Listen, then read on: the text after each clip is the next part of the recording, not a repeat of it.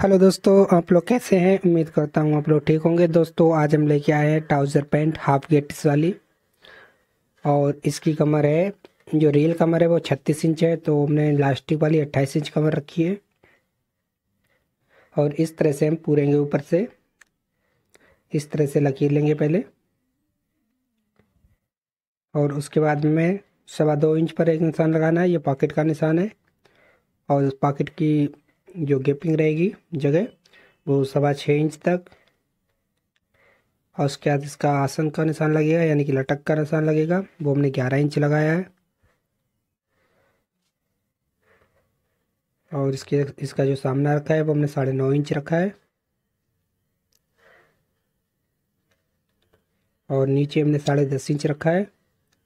और इसमें दो इंच हमने प्लेस किया है। और इसके बाद इस निशान से, इस निशान को इस तरह से मिला लिया है। यहाँ पर हमें राउंड देना है, राउंड दे दिया है।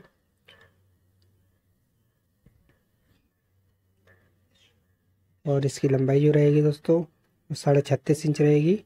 तो हमने साढ़े छत्तीस इंच ही रखी है।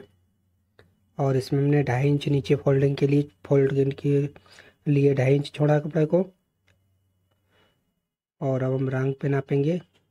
और मोरी नापेंगे। मोरी और आँख के बीचों बीच आधे पर निशान लगा लिया हमने, सेंटर निकालने के लिए।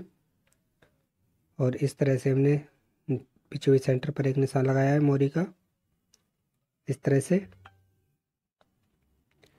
ये हमने लगी लिया है।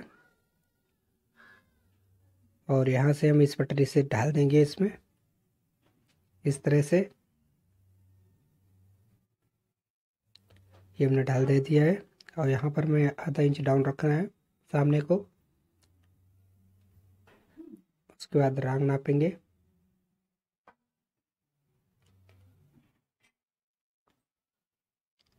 रांग हमारी साढ़े चौबीस इंच रहेगी और मोरी हमारी बारह इंच रहेंगी।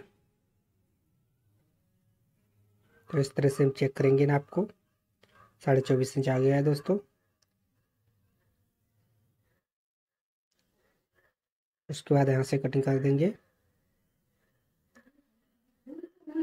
इस तरह से कटिंग करेंगे।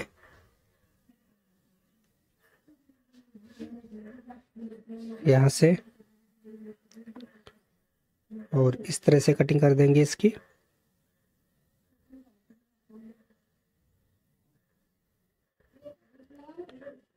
देखिए दोस्तों, ये सामने वाले पल्ले की कटिंग हो चुकी है। और यहाँ से हमें पॉकेट की जगह से कटिंग कर रहे हैं। और ये हमारे सामने वाले पल्ले कट चुके हैं ट्राउज़र के। अब हम कुटके लगाएँगे नीचे। और यहाँ पर प्लेट पड़ेगी। दोस्तों तो जो सेंटर पर हमने प्लेट का निशान लगा लिया है। इस तरह से आधे में लगता है निशान तो आधे पे लगा लिया है हमने। और इसे एक साइड से रख लेंगे। ये कट चुका है ट्राउज़र सामने वाले पल्ले और अब हम बैक साइड को काटेंगे दोस्तों। तो उसके लिए मैं इसी कपड़े को इस तरह से खोलना है। और इसके ऊपर से मैं वही सामने वाले पल्ले रख दे लेंगे इस तरह से इसके ऊपर से रखेंगे दोस्तों।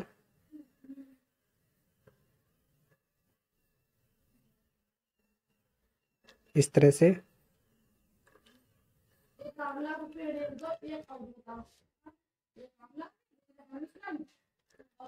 और यहाँ से इस तरह से रख लेंगे हम।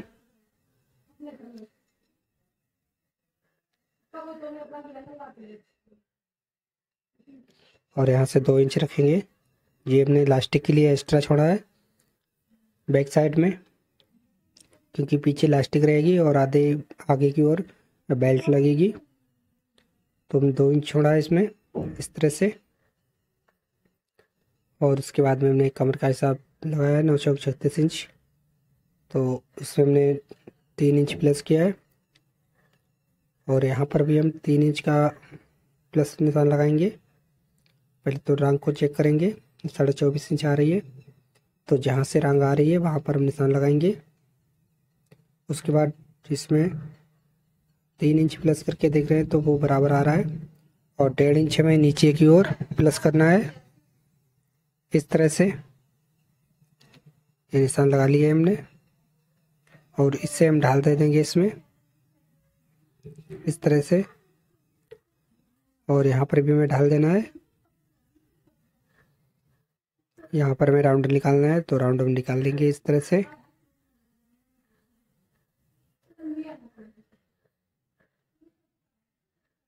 और अब हम कटिंग कर देंगे। इस तरह से दोस्तों इसकी लंबाई जो थी वो छत्तीस इंच थी और कमर रियल कमर थी वो छत्तीस इंच और इसकी जो हमने कमर रखी है वो अट्ठाईस इंच है, इसमें हाफ़ केटिस रहेगी।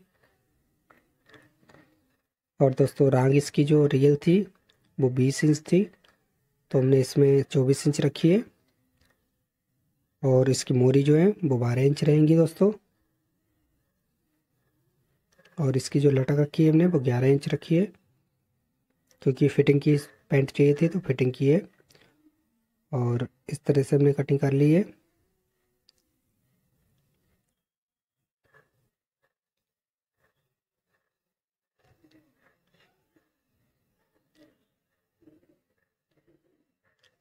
इस तरह से दोस्तों कटिंग हो गई है हमारी।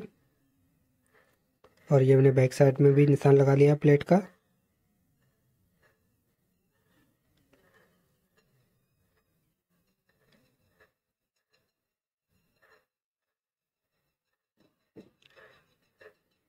देखिए दोस्तों, ये कटिंग हो चुकी है। अब हम इसमें लगाने के लिए जो पॉकेट लगेंगी, वो उसकी कटिंग करेंगे। तो ये बचा हुआ कपड़ा होता है इसी का। तो इसे इस तरह से फोल्ड कर लेंगे। और फोल्ड करने के बाद इसकी लंबाई जो है पॉकेट की, वो तेरह इंच रहेगी। और यहाँ से हम डायरेक्टली काट लेंगे। ये तेरह इंच थी। तो इसकी जो चौड़ाई थी दोस्तों, वो हमने साढ़े छः इंच तक रखी है। देखिए दोस्तों, ये तेरह इंच लंबाई है। और साढ़े छः इंच तक इसकी चौड़ाई थी।